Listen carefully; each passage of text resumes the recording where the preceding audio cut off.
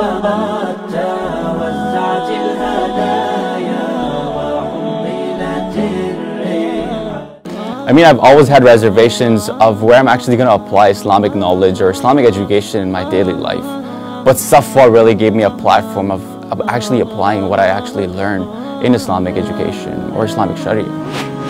The best thing that I found out that one day a week was an amazing option, considering that there's hardly anyone in town teaching the classical ulum of Dars Nizami in such a convenient manner.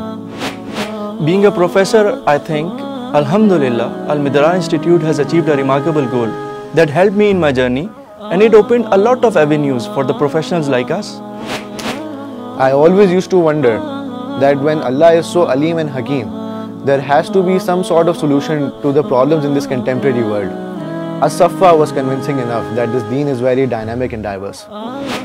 It was really an eye opener in this journey of my life दीन को अगर समझ कर पढ़ा जाए तो अख्तलाफा दूर किए जा सकते हैं। एक वक्त तक तस्खी के दर्स आगे लेकर चलते हैं मगर एक आलिम की आबिद पे बहुत फजीलत है। At first I doubted something big could be achieve from this course but then अलहमदुल्ला our teachers were always there to help us in understanding the higher academics of Shariah A matter can be in the black or white.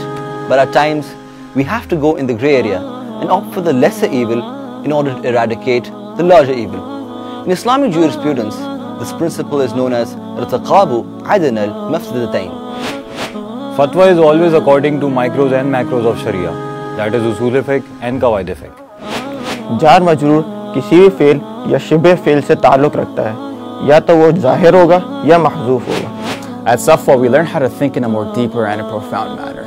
I mean, I've heard a lot of corporate trainers talk about how to position your work, how to station your work, known as the darruj. But here, we also learn how to horizontally position your work, known as tarjihat.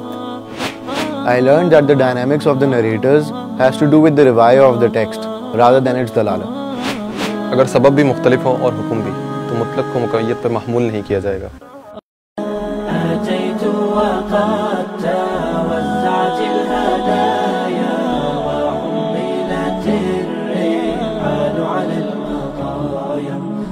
عبيدك يا إله الناس غاو وليس سواك.